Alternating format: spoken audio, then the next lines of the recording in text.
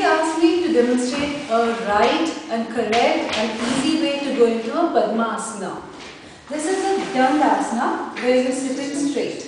Make sure your back is straight, upright, not arching, legs are straight in front.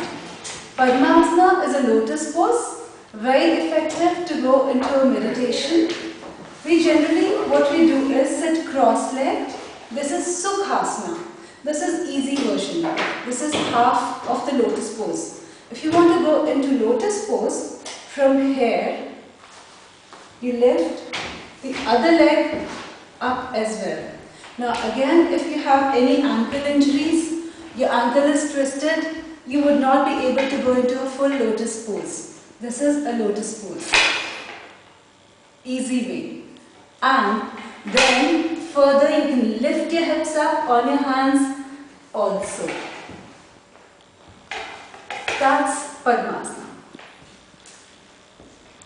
Oh.